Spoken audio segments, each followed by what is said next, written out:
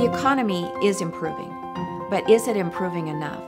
Absolutely not. We need to be focusing and really working on the economy in any way we can make good incentives and provide good support for the businesses out here. We have families that are still hurting. We have families that are still not recovered and do not have the resources to continue to pay their bills and take care of their children. We need to work on it.